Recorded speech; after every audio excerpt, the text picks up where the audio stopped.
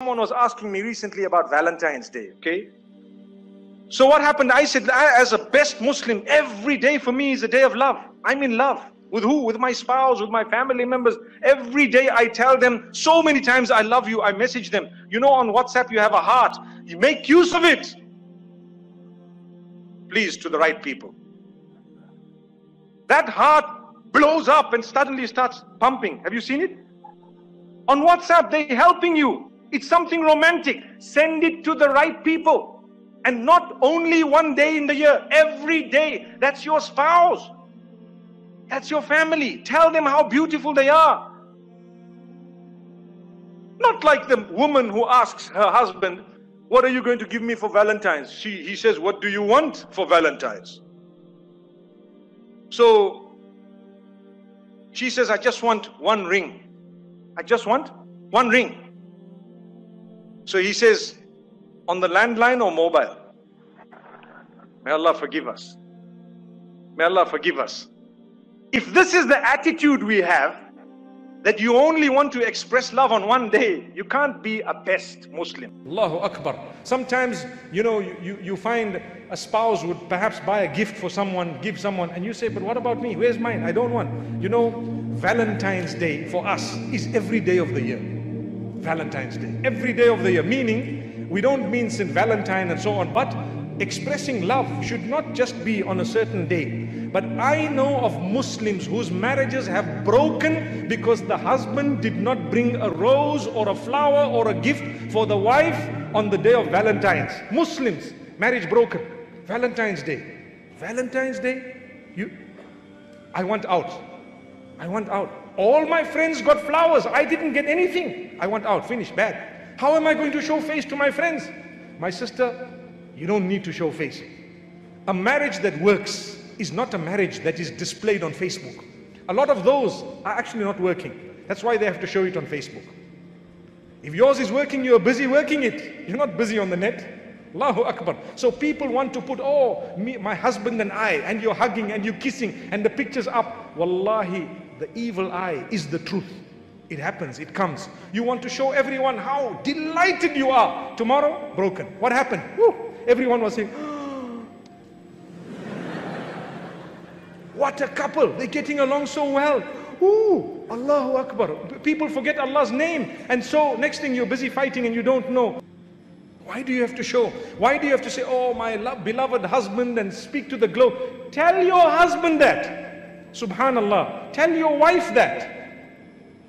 So this is why we say, I know of another marriage that broke because the wife suspected the man of giving her flowers that were supposedly from someone else. How's that? Allahu Akbar.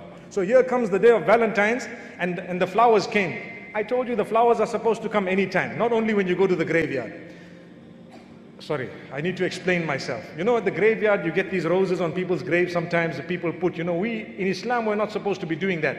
You'd rather make a dua for the deceased than to do that. But some people, when they go to the graveyard and they're standing there, they see a rose. Hey, that's good for my wife. Take it. So the only time they get roses, you know, one woman says, every time my husband gives me a rose, I've got to ask him, did you pass by the graveyard? so the reality here is there was a case, and this happens, and I'm talking about it because it's connected to the knot. There was a case where a man says he came with the flowers.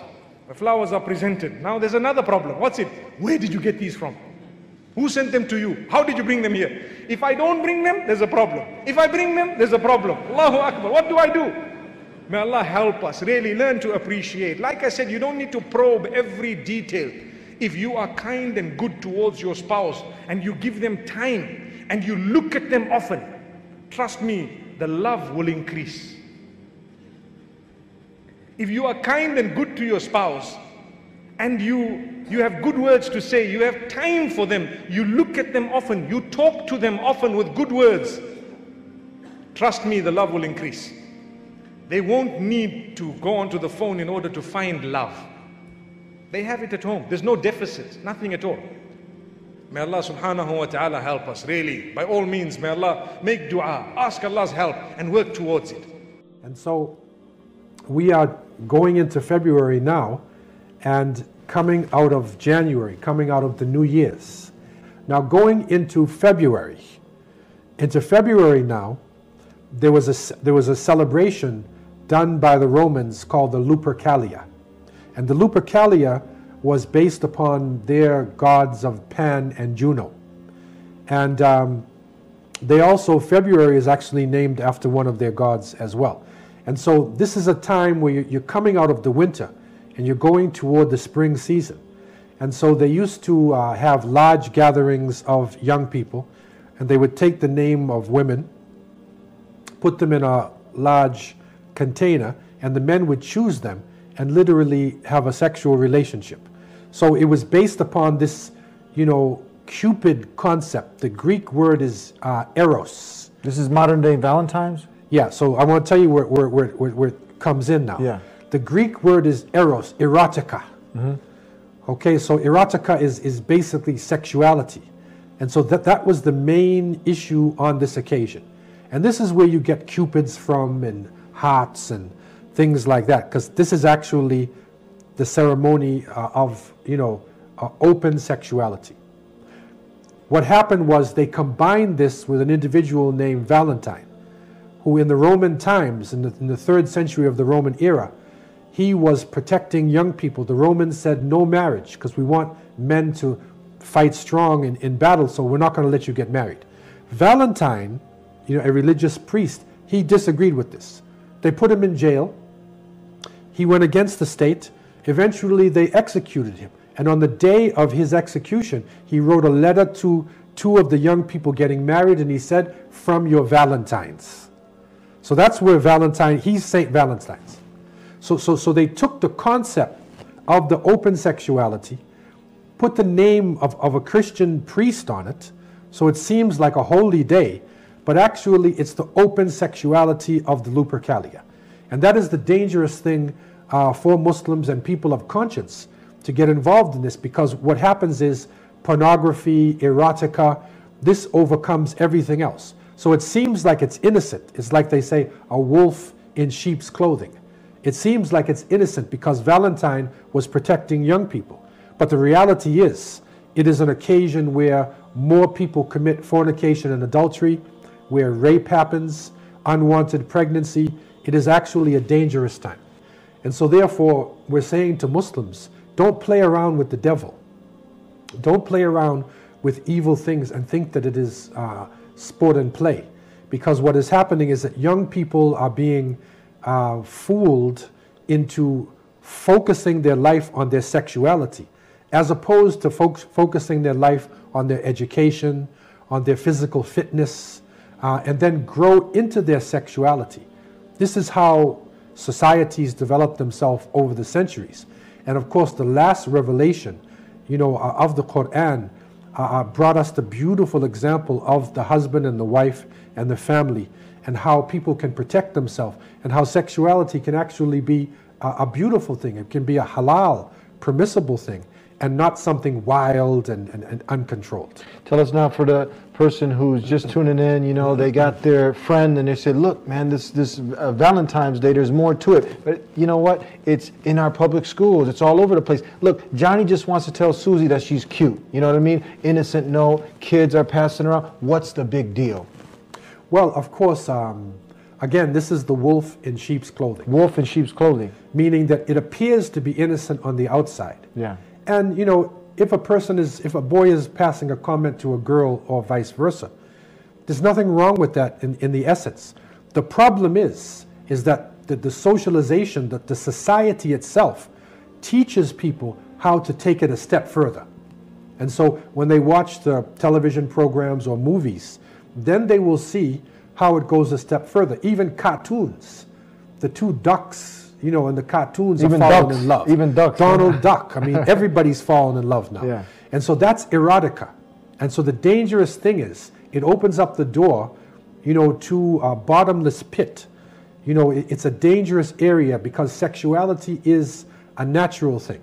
And when we look at, at the Quran, it tells us, وَلَا تَقْرَبُوا الزِّنَا إِنَّهُ كَانَ فَاحِشَةً وَسَاءَ سَبِيلًا The Quran, the Last Testament says, do not come close to fornication and adultery. Now, what Islam is saying about sexuality uh, is very important because the creator of the heavens and the earth uh, is revealing to people there are certain actions that you shouldn't do. You shouldn't kill, you shouldn't steal, you shouldn't be jealous of your neighbor, um, you shouldn't you know, be involved in magic and uh, taking of interest and so forth and so on. But when it comes to adultery and fornication, Allah says, وَلَا تَقْرَبُوا الزِّنَا إِنَّهُ كَانَ فَاحِشَةً وَسَاءَ سَبِيلًا in Surah Al-Isra. So it says, don't come near fornication, don't come near adultery, because it is an abomination and it will destroy everything in the path. So this is a dangerous um, thing. It, sa- it doesn't say don't commit adultery. It said don't come near it. Now, why is there a difference between uh, killing and adultery? Because killing is not a natural thing. And any human being who sees another person killed it should be repulsed by that. It's an ugly, detestable thing. But sexuality, that's what our bodies are created for. And so a man is naturally attracted to a woman. A woman is attracted to a man. So that's why Allah said, don't come near it. Because it's, a, it's something that we want to do. We are built to do that in order for the species, you know, to, to maintain itself. So therefore, what Islam is saying is that yes, have sexuality, but do it within the confines of marriage. Do it in an organized fashion where the man respects the woman, where the, you know, the family is set up, you know, where he takes care of his children. That's the way it is. The Lupercalia, the Valentine's erotica concept, is uncontrolled, undisciplined sexuality.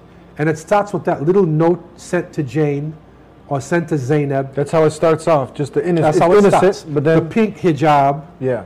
You know, I don't know if they have pink kufis or, you know, the pink thobe. So we don't do or whatever that. it is. No, we don't get involved at all.